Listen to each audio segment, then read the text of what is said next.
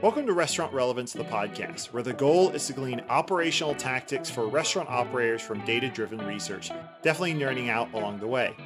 I'm Nathan Jarvis, the host. Welcome to those of you who are tuning in.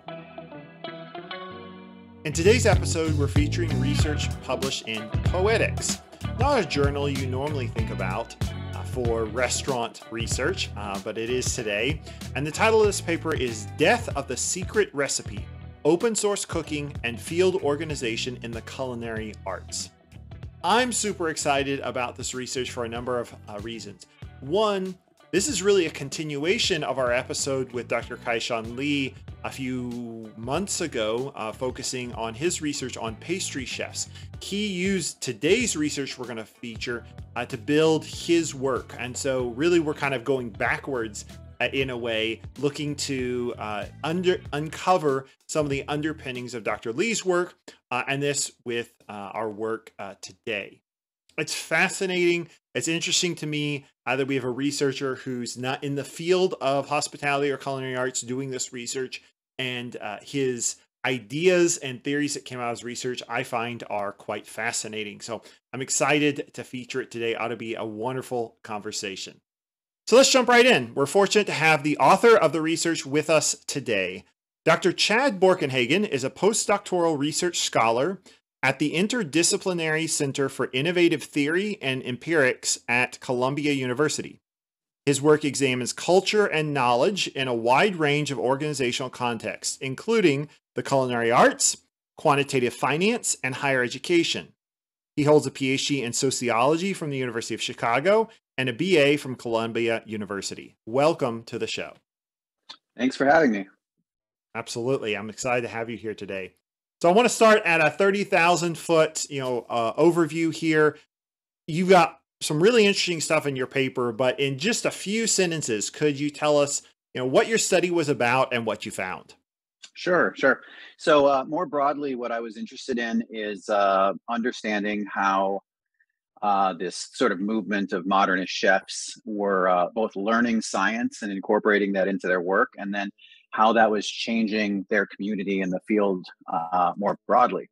Uh, what I found in the context of our conversation here in the specific article we're going to be talking about was that um, not only had these chefs adopted scientific knowledge so you know understandings of molecules that are working through cooking processes and whatnot but they'd also uh, adopted a lot of these scientific practices along the way and those practices had some interesting implications for kind of the, the hierarchies that we see in the culinary industry interesting so i mean how how did you get to this topic uh, looking at your background, it doesn't look like you've worked in really worked in restaurants a lot before, or you know a lot of involvement in the modernist movement. So, how did you get to this topic? What was the origin here? Um, yes, so the um, it's true that I have no background in uh, the culinary arts personally.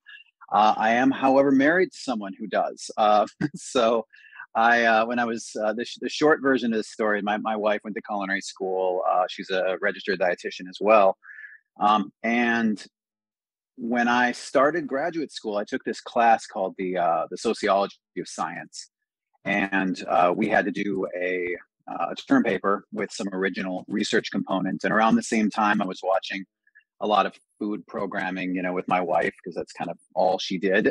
and uh, and so uh, we watched. I think it was an episode of Top Chef where uh, Grant Achatz was the guest judge and she was like oh you'd think this guy is cool like let me tell you a little bit about him and uh, and i was like yeah that's that is cool um, so i started kind of looking into this use of science and i pitched it as a uh, as the term paper for this course that i was happened to be in at the same time uh, i got a lot of positive feedback on it and uh, you know within a year or two it was my dissertation topic so I'm also curious why the journal Poetics. I mean, that's not one that I've uh, referenced a whole lot, um, and uh, so you know, why that journal?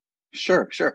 So Poetics is um, I don't know if you've taken a look through its pages and seen some of the other articles out there. It's it's a pretty eclectic journal of, uh, of cultural uh, cultural studies more more generally. I was going to say cultural sociology, but that's not quite right because you get people from a kind of a wide range of fields. Um, I like I, I, you know, first and foremost, I just love the articles that journal publishes, and I saw mm-hmm. my work uh, having to do with, you know, definitely this cultural field of production in uh, the culinary arts, and um, also kind of the organizational aspect of it. We're talking about restaurants and intellectual property. It's such an eclectic kind of collection of uh, of topics that it just seemed like poetics would be kind of a good place for it, and uh, you know, so I submitted it there I got some great reviewers who were really into the topic, and uh, I mean they were hard on me, but uh, you know they they gave me you know that's that's the peer review process, right? But uh, absolutely, yeah.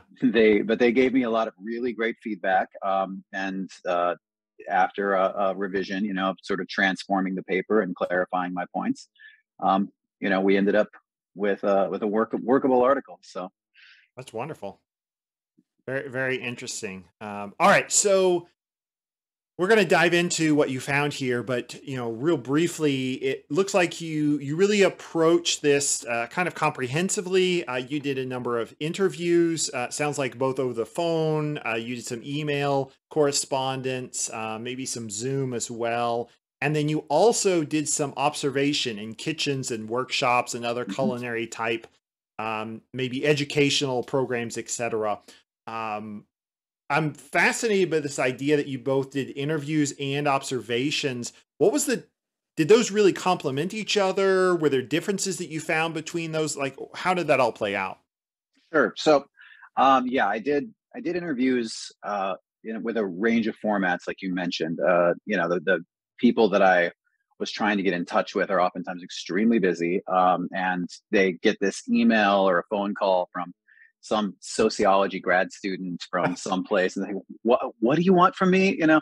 Um, yeah. and eh, so you know you kind of take what you can get you know whatever kind of time somebody has for you you're happy to get it. So um, so there's a little bit of cobbling together you know oh you want to do an email? Great we'll talk over email you know? And um, and uh, or or a phone conversation that was a very popular option um, eh, we did a couple of video chats and then as much in-person interviewing as i could um, because I think the the face to face interviews are always you know you get body language, you get kind of the interactions with the with the world around you that sometimes are a little revealing. Um, you know that's that's sort of the best I, uh, situation for an interview. Um, now, when we're talking about observation, um, it, it is it is interesting because they seem to go together, and they certainly do.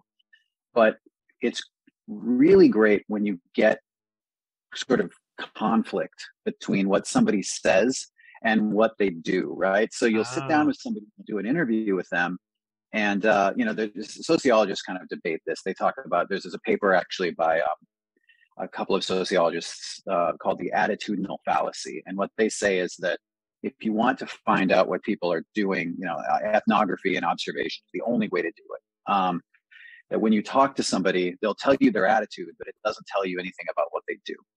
Um, you, you, can debate that. I'm, I'm not 100% on board with that. I think that interviews are certainly valuable, and, and I don't think they'd argue that they're not valuable. But uh, you do have to be careful, though, that when somebody tells you what they think, it's not always what they do, right?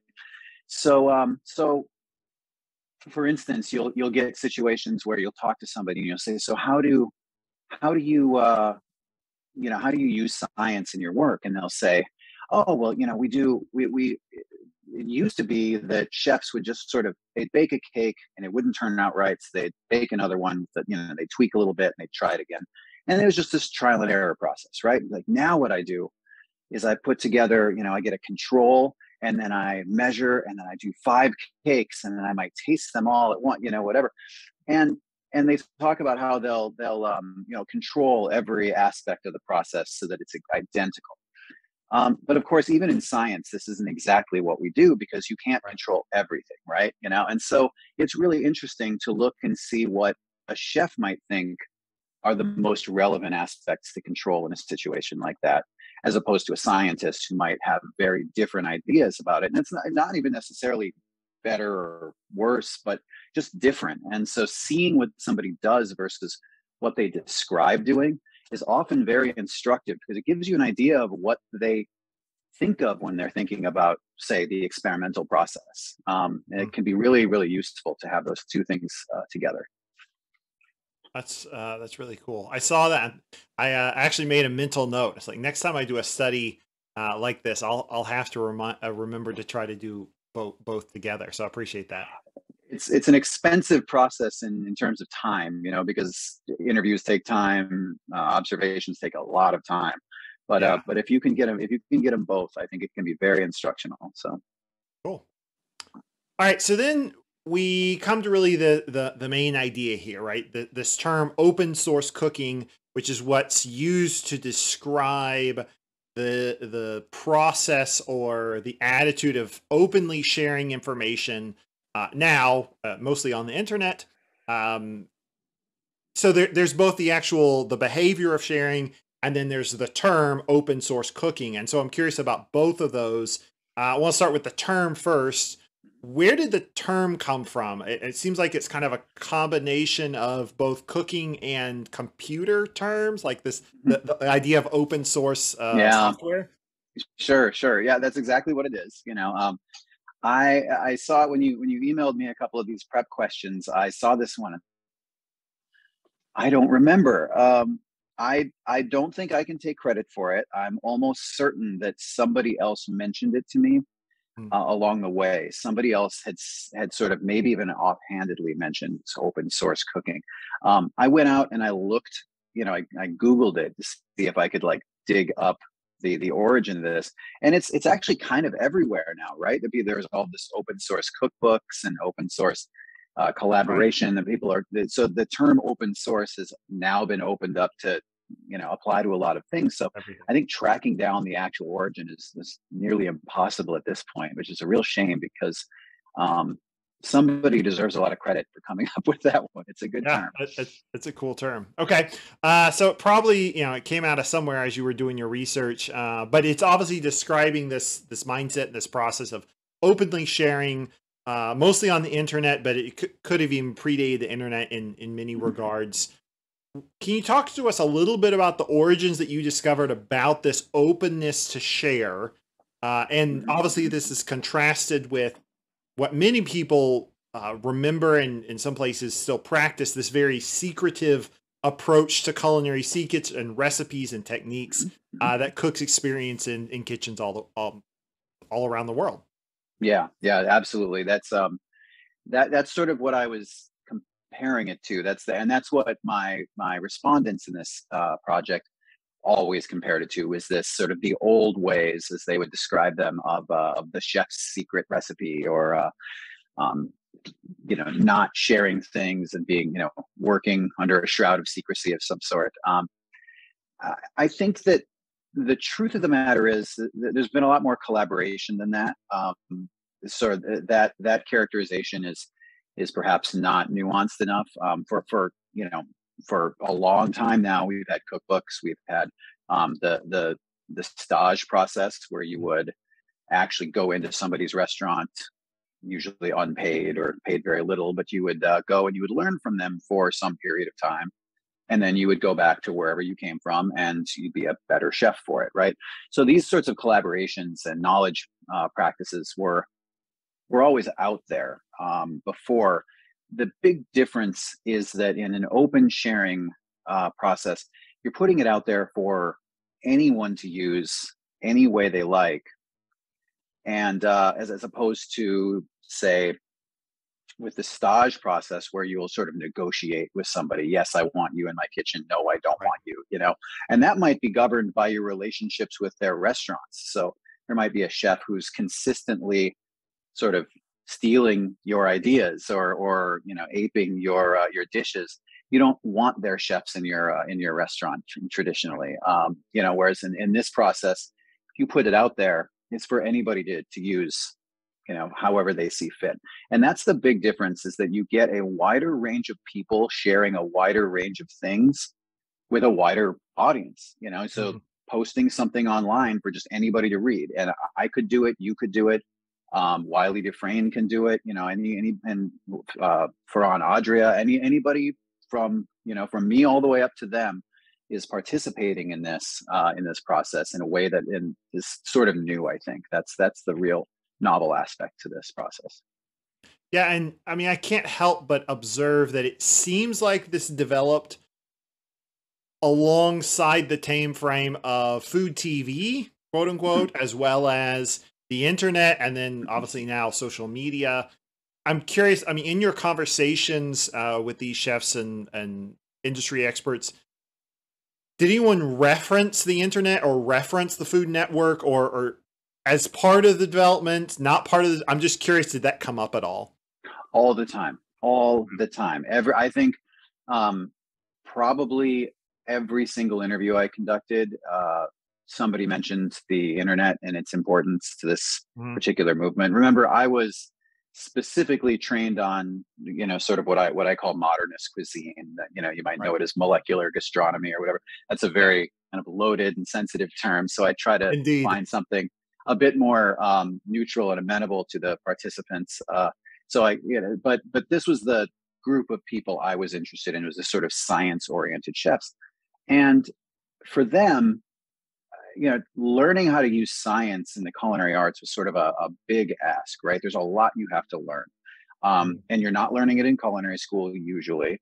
Uh, there was uh, Harold McGee's book from 1984 that was oh, out yes. there that had a lot of, you know, a lot of people would sort of refer to that as their Bible, you know, but it might get them interested, but there's still going to be questions. Be like, okay, so, you know, what if I do this? And there's just nobody to ask, right? So, what you end up with is a bunch of people who are kind of out there with a lot of questions and one of them might have studied a lot about you know this little thing you know maybe hydrocolloids and somebody else might be looking at you know the molecular processes under um, underscore the grilling process or something um, you know and and they're all kind of out there with their little uh, areas of expertise and the internet's allowing them to come together and mm-hmm. it's allowing them to come together and say i tried this and somebody else says oh you know i followed your instructions there have you thought about doing this it reduces the time that you need to hold it by 50% and in a restaurant that's going to be a really big deal you know um, and uh, so you get these sort of iterations in the way that you see sort of open source software um, or or scientific collaboration where you'll see one paper come out and another paper build on that in a constructive mm-hmm. way and another paper build on that so um, everybody described the centrality of the internet uh, to this process because without it they simply couldn't have communicated with one another and they wouldn't have found each other so. all right so the internet definitely was uh, key to to this sharing process and its development and you, I mean, you mentioned the modernist movement or the molecular gastronomy movement. Yes, I agree. Uh, you know, depending on who you talk to, uh, or, you know, the terms get used uh, back and forth, and you certainly probably could start a bar fight uh, in some places, depending on the term that you you you, you choose. You sure there. could. Yeah. so, and you were focused on on that set, that movement, and its pra- practitioners. Did you find anyone that referenced chefs from outside of the movement, right? So in more traditional modes of cuisine that were practicing similar uh, you know, sharing, uh, you know, uh, attitudes of sharing. I'm, I'm, what I'm getting at is, is this something that uniquely developed in the modernist movement, or uh, because of its focus on science, or were there other people in other avenues in the culinary world that were also practicing that? That's kind of what I'm curious about. Yeah, yeah, you know, it's a good question, and uh, the short answer, which isn't very satisfying, but the, the short answer is I don't know. Um, okay, I I can take a stab at guessing though, and my guess is that there wasn't a lot of that because I would imagine that I would have found it, I would have heard mm-hmm. about it. Um, the people in this community uh, a lot of them have you know very broad interests culinarily speaking uh, and so they're not just interested in sort of modernist food. They're interested in you know breads or you know they're pastry chefs or they work with ice cream or they work with whatever. And um, and i think that if there was another community out there that had this sort of norm at the time uh, I, I would have heard about it. Now that said to some extent this whole culinary science movement has been a, a, victim of its own success in the sense that um, now everybody does it, right? So although modernist cuisine had sort of a very distinct style and you could look at people like you know Homaro Cantu or um, Grant Achatz or Wylie Dufresne as being sort of the uh, the, the, the standard bearers of this uh, of this movement. Um, the more general approach of using science uh, and and informing your cooking with uh, scientific knowledge has become fairly mainstream. So sous vide is not particularly experimental anymore. Uh, people have realized. I mean, if you go out for brunch, you're probably enjoying sous vide eggs. You know, um, and, uh, and it's just not cutting edge anymore, which is uh, which is great because hmm. people, uh, you know, the people that I talk to that are really invested in this approach think that it should be used more widely, and they think that you know the entire industry would benefit from a more sort of scientific or systematic approach to experimentation and creativity. Interesting. Well, and in one sense, I mean, at least in some cases, practitioners were going and finding principles that were used more in the food manufacturing space, mm-hmm. right? Mm-hmm. You know, and drawing on that. Something that's been talked about enzymes and, you know, some of these heat treatments have been used in the food manufacturing space for yeah. 50 plus years beyond, you know, before. Um, and so it's it's gaining, it's spreading out in its influence, which is awesome. I mean, as a as someone in the science, uh, the field of science, it's it's neat to see those principles and those findings actually applied in operational context rather than just sitting on you know in someone's library you know just just sitting there on a shelf yep yep no that's um that was one of the the most interesting parts of this project to me was seeing how this uh, movement had blurred the line between sort of fine dining uh, and the, the, the like the food industry, you know, industrial applications.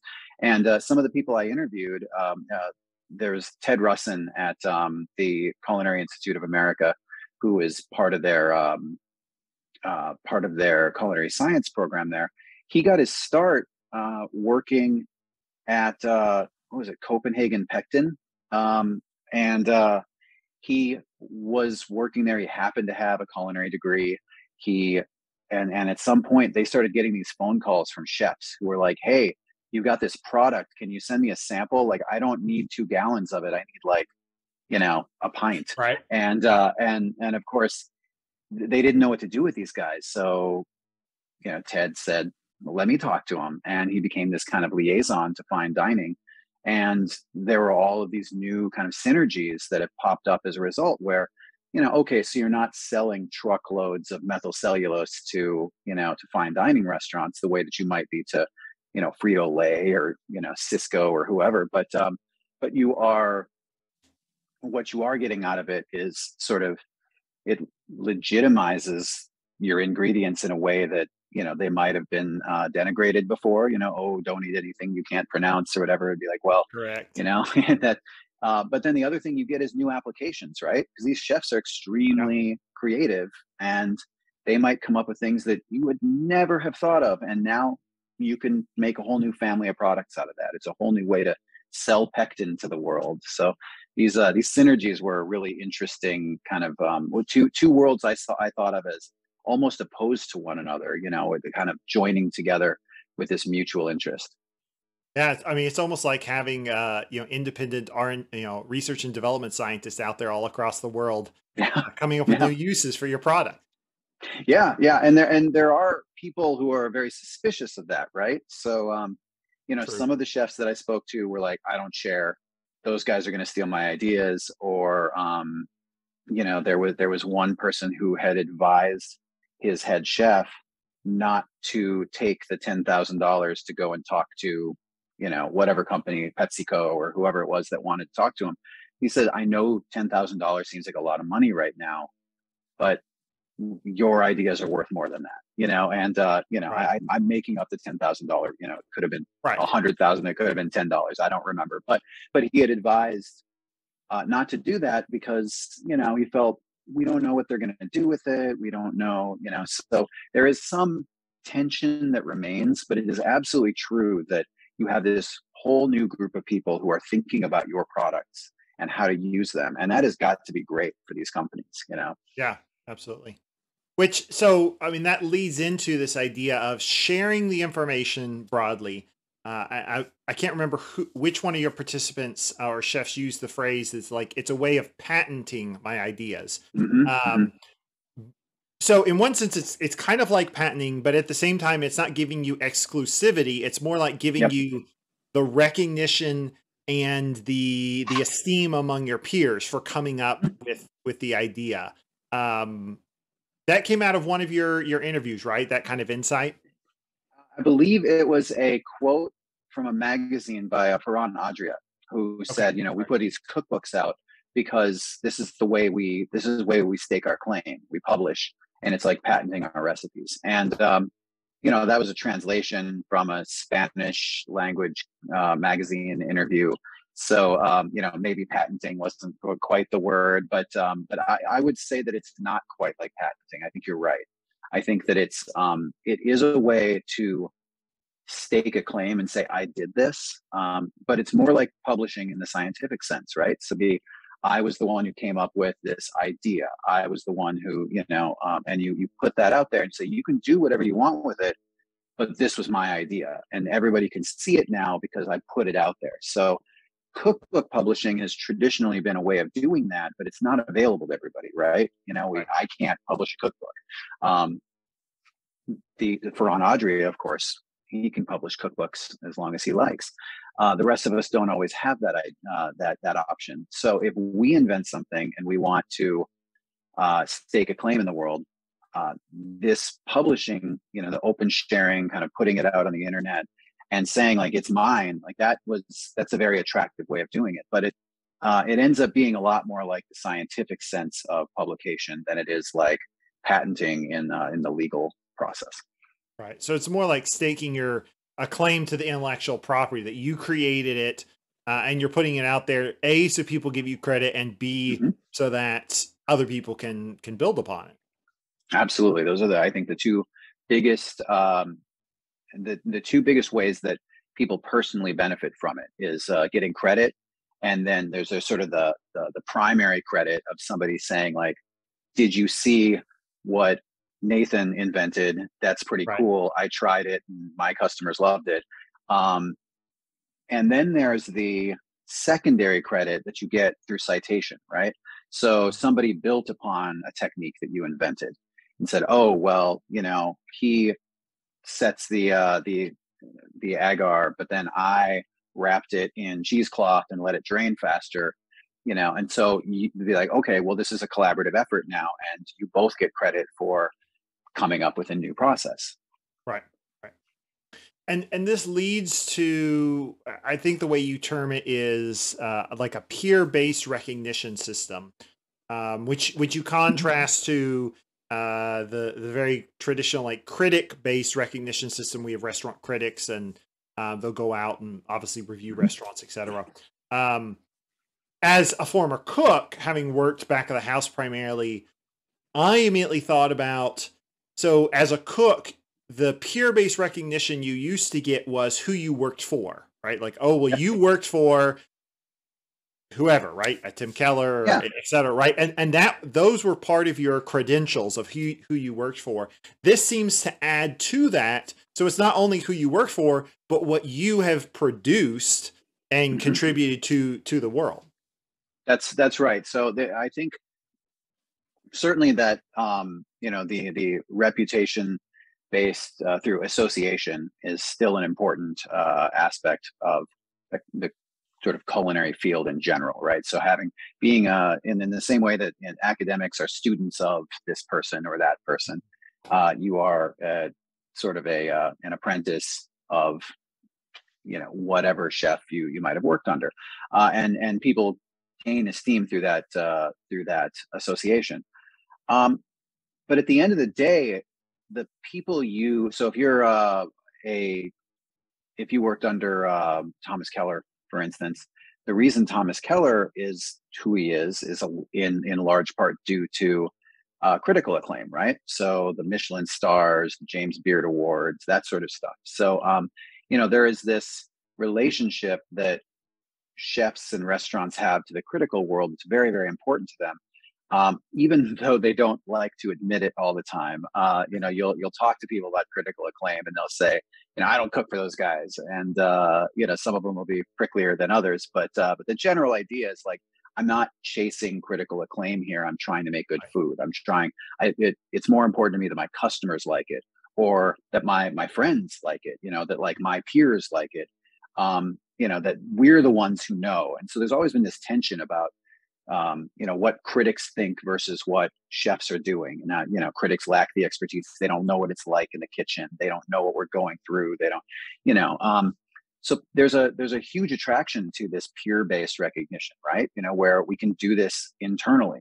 We don't need critics to tell us what's good and what's not. We can we can build upon one another's work. We don't need uh, you don't need critical acclaim to get attention in this uh, in this way. You just need say uh, today i would say probably an instagram account. Um, you know when i was writing this instagram wasn't really a primary means of uh, transmission for this information but i think today it's much more popular. Um, and uh, i think that you know the two work hand in hand is the other thing that's important to say about this that if there's a chef out there that is getting a lot of recognition among their peers for any reason whether it's because of the things they're sharing on Instagram or because of any other reason, and they're getting ignored by critics, eventually you're going to see critics start to take notice because in their interviews with other chefs, like they're going to hear about this person and they're going to say, oh, this, this, this chef, I had never heard about them. Like maybe I should go and, and check out their restaurant or whatever. So I have this kind of untested theory that any time these two things get too far out of whack, there are certain forces that will kind of bring them together into closer correlation. That critical acclaim and peer acclaim are uh, are, are closely related. Yeah, and I mean the the peer system, even though it's happening on the internet for the most part, uh, so it's it's open for anyone to go see. Uh, you reference the fact that it's the the language used and uh, the way it's presented really is it's targeted towards other peers. So even though the public yeah. can consume it or uh, critics can consume it, uh, it really is. It's almost like a microcosm type communication, even though it's open for the world to see. Yeah, yeah. This is, um, you know, this is that, that question you had about explicit and tacit knowledge, right? Which is right. a, uh, um, this is a, a, distinction that sociologists and uh, and scholars of uh, science and technology have made for a long time. So you've got on one hand explicit knowledge, which is the kind of stuff you can write down. You know, um, any anything in a in a recipe would be an example of explicit knowledge. So the ingredients, the uh, the the ratios, the uh, the technique, all of that is explicit knowledge. Um, but in order to actually make use of that explicit knowledge, you always need some kind of tacit knowledge, uh, and that's true in cooking. It's true in uh, nuclear physics. It's true everywhere that um, there are some great articles about this and how um, scientists can't reproduce one another's work no matter how closely they follow the instructions because yeah. there's something they left out you know that just doesn't you know um, that doesn't translate and so you'll see this in badly written recipes right where somebody forgot to mention oh you know you need this this meringue needs a butane torch on it before it's going to look the way it does in the picture. You never said that. And be like, eh, okay, that's common sense to a chef, but a home cook might wonder what the heck they did wrong, right? Um, yeah. And and the and the, example I use in the paper, I think, is a is a I, I love this example um, because it's it's a Will Goldfarb tweet that he tweeted out at like three in the morning his time in Bali. And, uh, you know, God knows what was going on in his kitchen, but he was like, I've got this almond sponge recipe. And in 140 characters, he tweets out it's just a set of ingredients. And most of the ingredients are so tightly abbreviated that you'd never know what they are if you didn't, if you weren't in that world. So, you know, two, uh, 10 mil, you know, E48 methyl, you know, something like that. And, and, and I'm, I'm getting the details not quite right, but it's that kind of thing where if, if you work in that world, you know exactly what that is. And uh, I would ask people about this. I'd say, like, what about these, you know, recipes? And say, oh yeah, you know, and they kind of laugh and say, yeah, if you work in that world, you know, okay, I'm going to have to take these things. These are the dry ingredients. These are the wet ingredients. You typically cook it this way. I'm going to try that. But there's so much left out that if you're just a home cook trying to follow along with what Will Goldfarb is doing, like, you know, good luck to you, you know, right, but, but right. his peers in the industry are going to know what to do. Well, and I mean, to those that have kind of opposed this sharing because they're afraid that someone's going to steal their secrets, right? I mean, because of this explicit in, uh, tacit knowledge dichotomy, it's not like a culinary student or you know a, a home cook um, or, or really anyone without that tacit knowledge could just take that and run with it and even just create the simple dish, much less create a whole restaurant around it.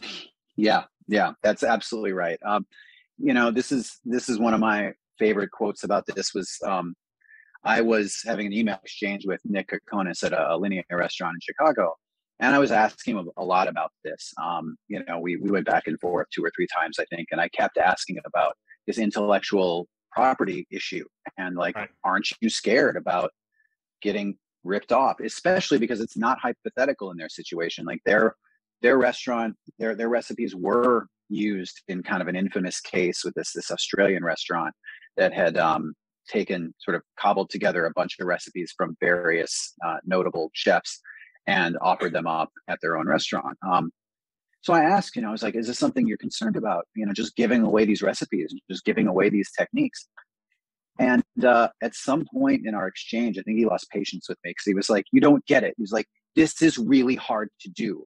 You know, I can give you any, any, um, he, he wrote that, uh, you know, I can give you the script, but that doesn't mean you can put Shakespeare on every night. You know, like you need you need the crew, you need actors, you need a stage, you need equipment. It's so much more than just that recipe. You know, you can have your script, but it doesn't mean you can do Shakespeare in the park. And I, I think that's a just a fantastic way of putting it because it really makes clear the difference between knowing how to do something and actually doing it at the level that these restaurants are are performing every single night. Right. Right.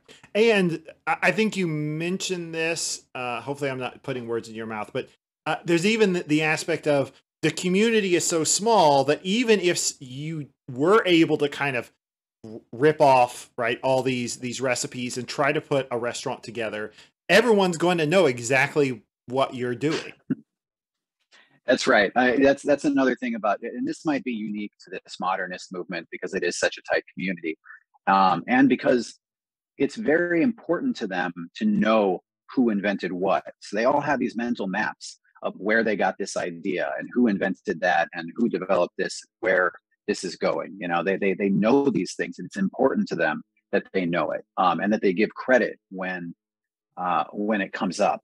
So it's absolutely true that when somebody does rip something off, um, it's probably going to get noticed. And in fact, you know, as as illustrated in this case in, uh, in in Australia, you know, people noticed it was kind of a big deal in the movement. People were, you know, there there were a bunch of, I think the New York Times covered it at some point, and uh, you know, um, that said, there's there's an aspect to this where the, the status hierarchy isn't totally gone, right?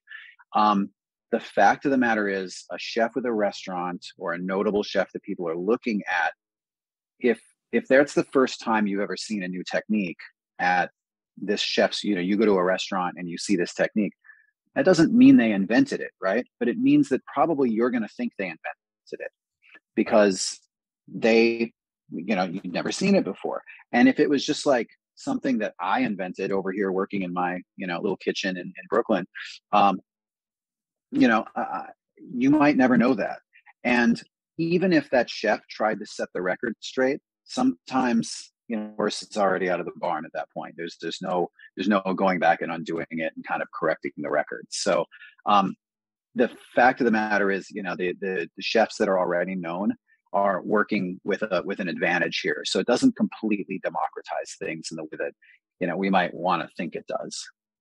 Right. Yeah, I, I know you you had a whole conversation about this in your paper about uh, in one sense, this allows a cook or even someone that's not a cook to, uh, you know, put their ideas out there and develop things, uh, but they may not have the audience for people to really recognize it. And so, either in many cases unintentionally, someone else could get the credit because they start using it and they yeah. simply have the larger audience. Uh, even when that citation is there, I mean, I'm sure this happens. This happens in the science world all the time. That someone makes yeah, an initial yeah.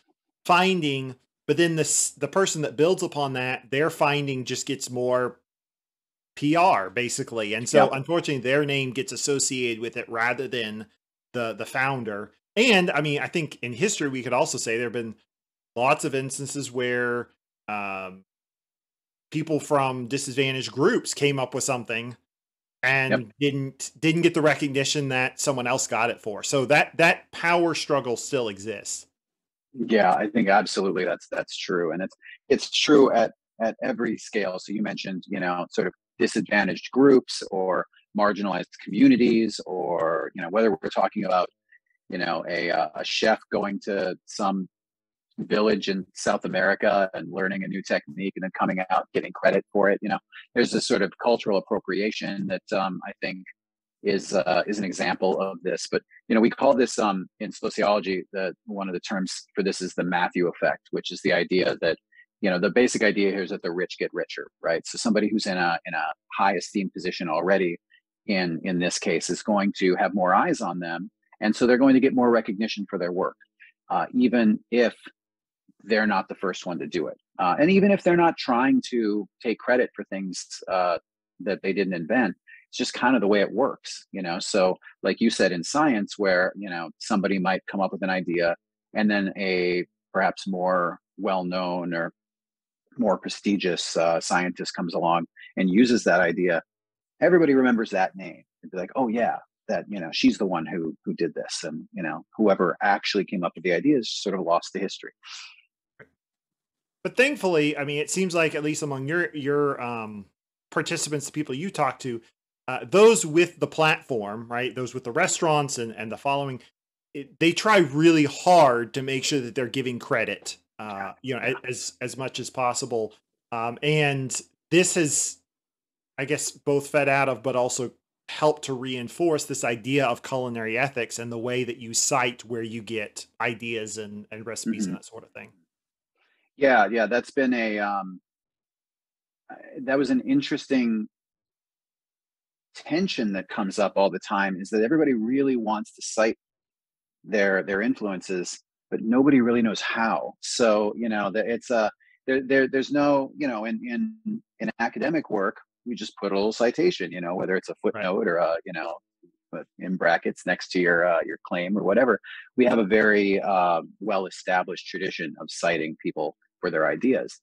Um, it's not like that at a restaurant, right? And so people actually would joke to me. It was like, I, I actually thought about putting a works cited uh, section in my menu, you know, and uh, you know, having just be like, look, you know, I've read enough articles, I know how it's done now, and uh, you know, they uh, and and they talk about that. I've never seen it. I don't know if anybody's uh, seriously, but but you do occasionally see uh, after uh, you'll go to a restaurant, you'll see on the menu kind of the, the description of the dish, and then maybe in parentheses to be like originally served here or mm, right. built on this person's inspired by whatever and so you are seeing this to some degree you know even though uh, it was oftentimes brought up as a joke um, you know that like how absurd would it be to have a work cited or a bibliography in my uh, in my menu but um, but you're actually seeing stuff like that now because i think it is really important to people um, that they give credit and that they're not seen as you know thieves. You know, they don't want to. They they want to be. They want to get credit for what they did and not credit for what somebody else did. Right.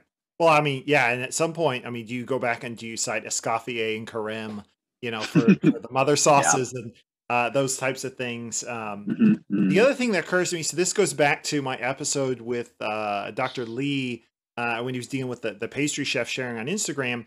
A lot of those that were sharing they were including the the Instagram handle, right? So they were actually tagging uh-huh. uh, the creator either in the post or in the comments, and uh, obviously that doesn't play out on a menu nearly as well. Uh, but that was that was one example of citation that mm-hmm. you know came out through his research that I think plays into this. Yeah, yeah, definitely. Online, there are uh, better tools for this. Uh, like you said, it doesn't play out on a on a on a menu so well.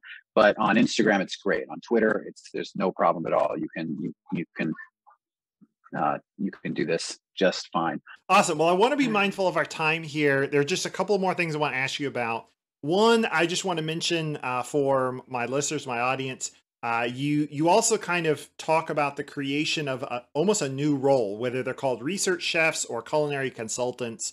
Mm-hmm. Uh, that almost a whole new job position has been created yeah. out of this this sharing uh, movement, which is I think is really cool.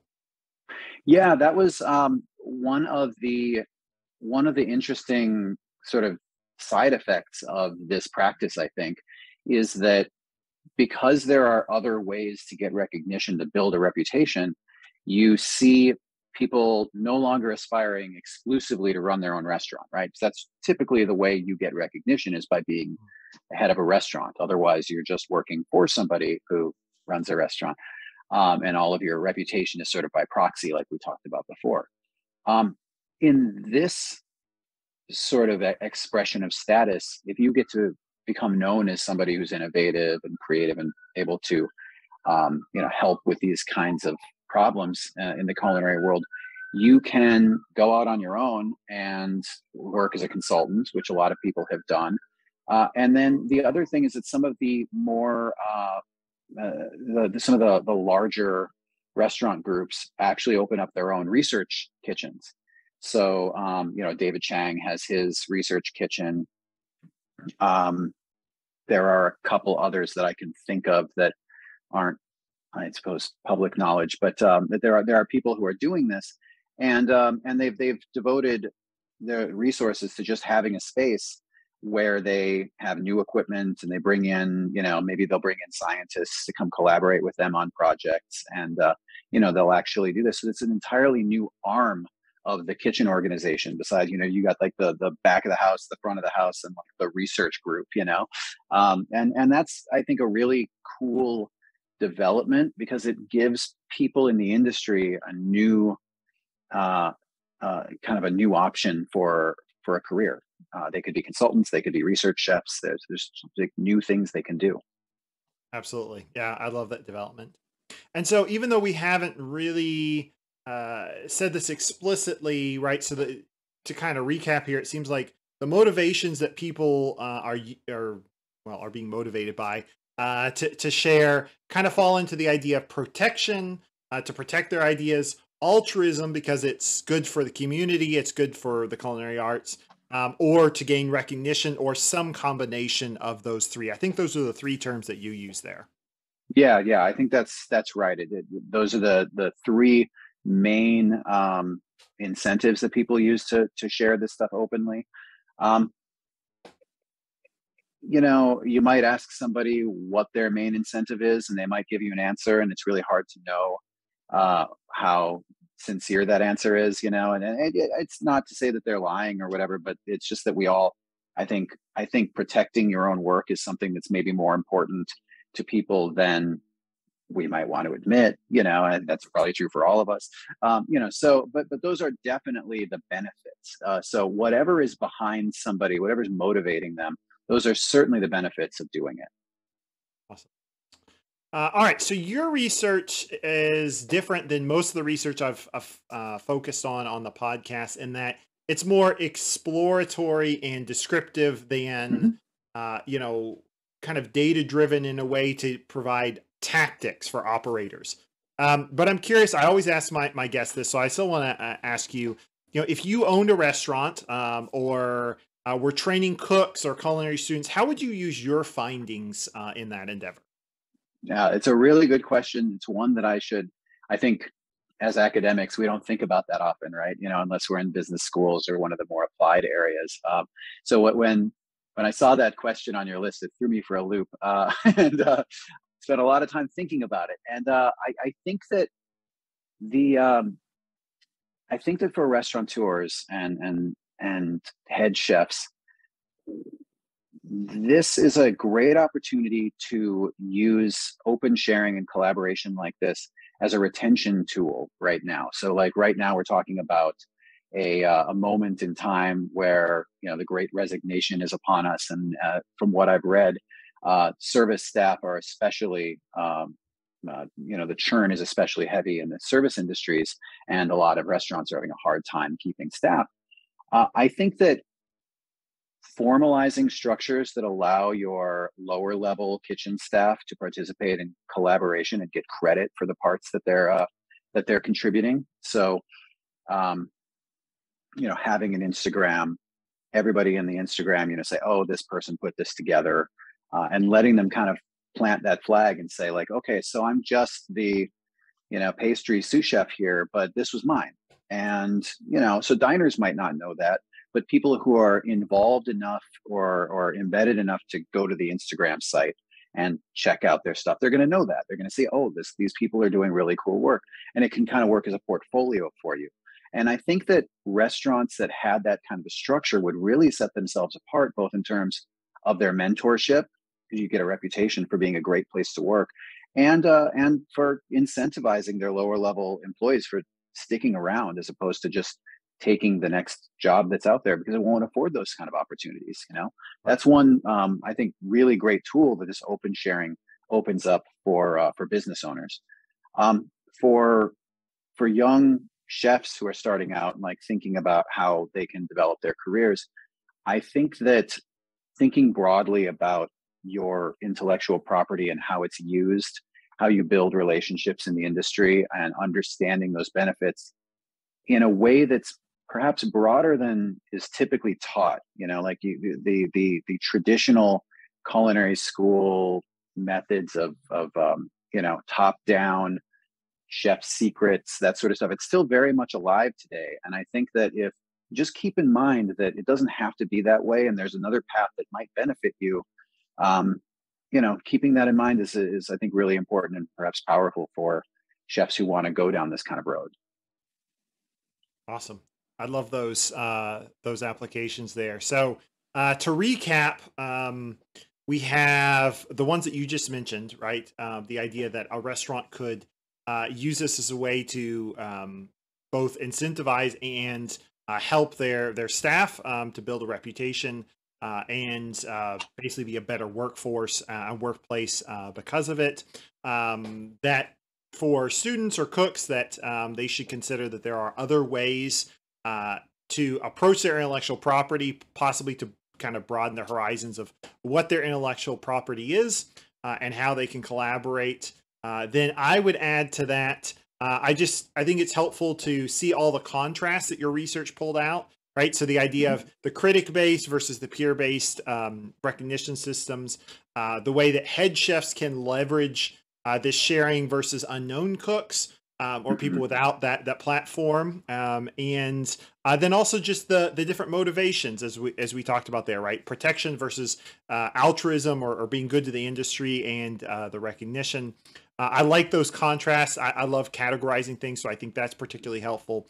Um, and uh, again, takeaway: I love the fact that uh, this movement and this sharing has resulted in new jobs and and job positions for people and career paths. I mean, I, I can really see where someone earns their their credentials and their chops in a kitchen to learn you know what it's like to work on the line etc but then mm-hmm. long term moves into more of that r&d position or that consultant position which you know as your back starts to give out and your knees start to hurt or you have a family like i think that's a really nice career path where you get both the operations and the uh, the work life balance long term uh, and yep. Uh, and then just, I mean, definitely, I'm going to take away uh, talking about this idea to uh, to students. Obviously, I teach more on the hospitality side, uh, but I think this is particularly helpful for culinary students uh, to to keep in mind. It's it's an avenue or an aspect that's not really been talked about much. So. Um, this has been a wonderful conversation. Thank you so much for spending your time. Absolutely. I really enjoyed uh, being able to, to talk about it again. Thank you for tuning in to today's show. If you have questions or comments, please leave a comment in the section below. I would love to hear from you, hear what your thoughts are on this very interesting subject. If you have a chef friend or someone that works in hospitality, please share this with them uh, so we can uh, spread the word and get their thoughts as well. Ciao.